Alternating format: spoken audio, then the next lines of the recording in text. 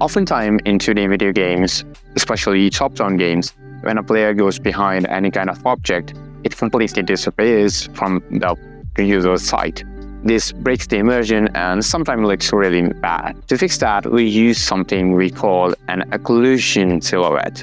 It's basically an effect where there's a shadow that appears in front of the object that the player is behind of. It's quite easy to set up, so let's get right into it and create it. Let's go.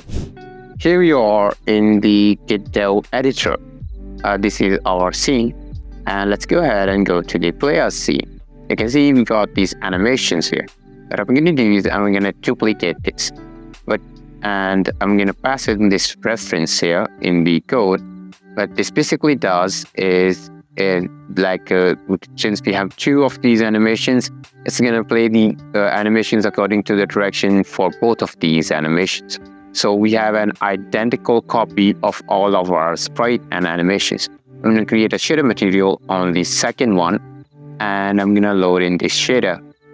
And I'm gonna be explaining this shader in just a bit. But thing is, this shader does is it turns it into the silhouette sprite, the second one. And when it comes in contact with the original sprite, since they were both same, it compares the color. And if the color of the sprite is, uh, you know, same as the above one, it disappears.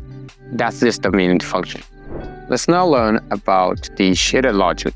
If you're not interested in the nerdy stuff, you can skip ahead to the next timestamp. And if you don't want to copy the code line by line, you can download the project file or the shader file.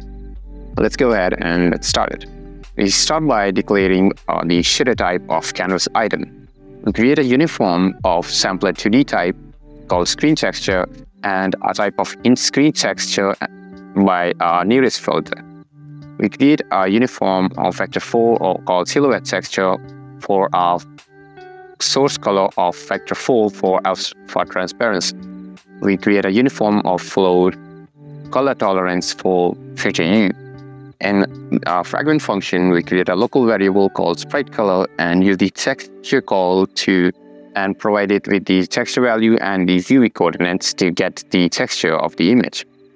We use an if statement and a condition of sprite dot a less than 0.01 to check if any of the uh, pixels are transparent and use the discard function to, to discard them and stop them processing. We create a vector 4 of screen color to get the color of the texture behind our image. We use the same method, we give it the screen texture and the screen UVs we create a boolean of color match and in an all function we create a less than function and compare the value of an absolute of sprite color minus screen color and vector 4 uh, of type of type the color tolerance value that we created above.